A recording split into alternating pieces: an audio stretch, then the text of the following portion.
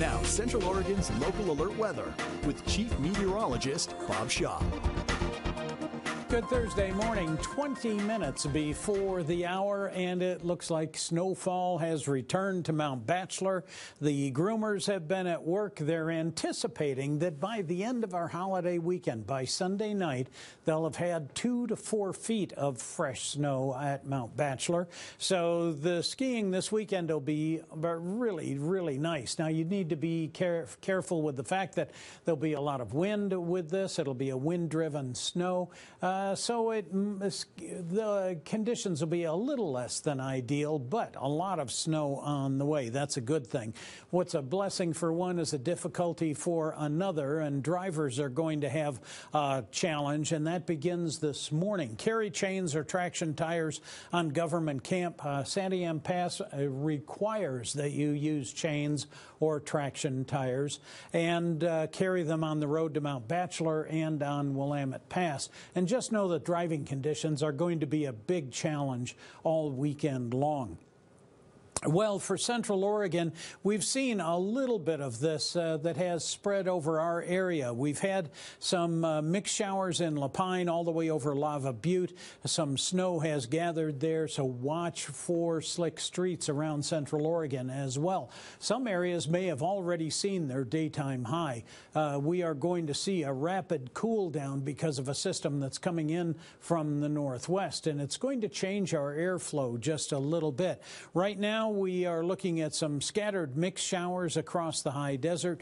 Rain mostly in Bend. It's 39 degrees here at the Bend Airport, and their breeze has gotten a little gentler and shifted to more of a westerly breeze.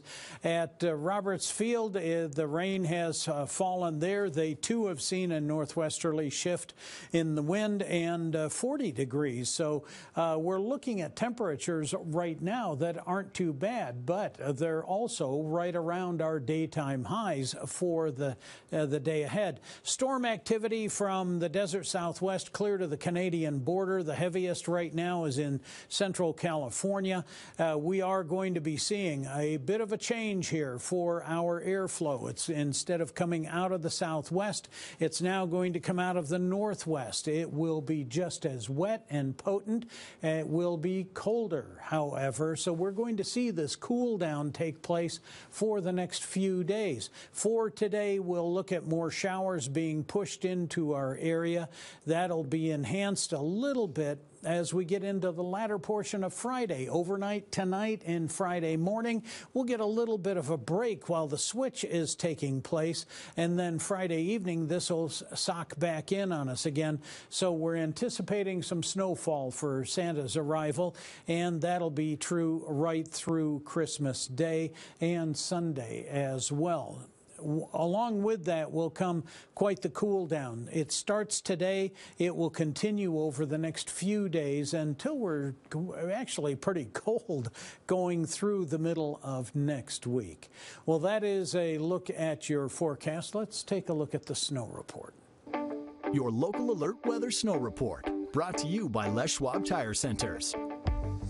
Well, chains or traction tires, you must carry them over uh, Government Camp and Highway 35, 56 inch base at Mount Hood Meadows, Timberline at 64 inches. Five of that is new, and they have a ton on the way. Ski Bowl has seen a 42 inch base. No new snow reported, but they're getting snow right now, and that's true for Hoodoo as well. Uh, they'll get a lot of additions to their 39 inch base.